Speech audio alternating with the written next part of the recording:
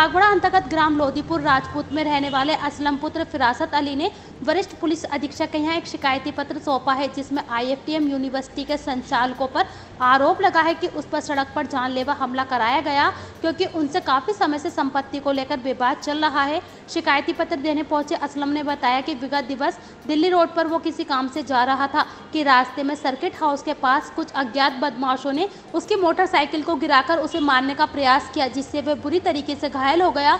घटना होती देख आसपास के लोग दौड़कर मौके पर पहुँचे तो हमलावर वहाँ से फरार हो गए। राहगीरों ने उसे पास के अस्पताल में ले जाकर उसका इलाज कराया जिसकी शिकायत करने हुए आज एसएसपी के यहाँ पहुँचा और इंसाफ की गुहार लगाते हुए सुरक्षा की मांग की। पूछने पर शिकायत देने पहुँचे। असलम ने बताया कि क्या नाम आपका? सर मेरा नाम मोहम्मद असलम है। पिताजी का नाम अली ग्राम लोतीपुर राजपूत थाना पाकपड़ा जिला मुरादाबाद का मैं निवासी हूँ।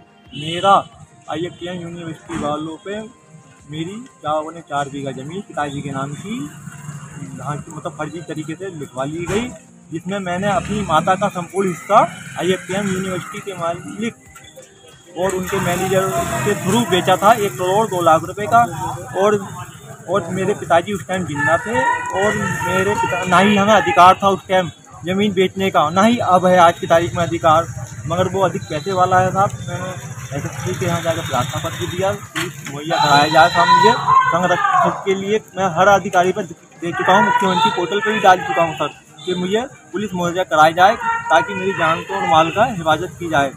कल चार बजे मैं किसी काम से मझोले की तरफ़ जा रहा था, सर्किट हाउस के सामने ही ब्रेकर लगे हुए हैं।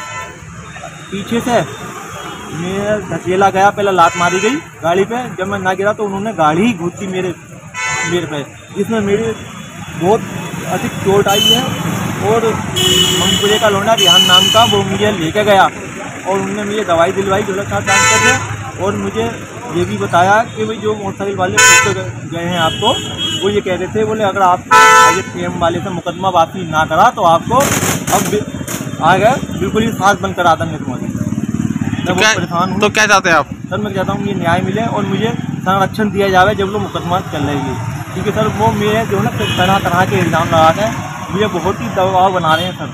बहुत परेशान हूँ।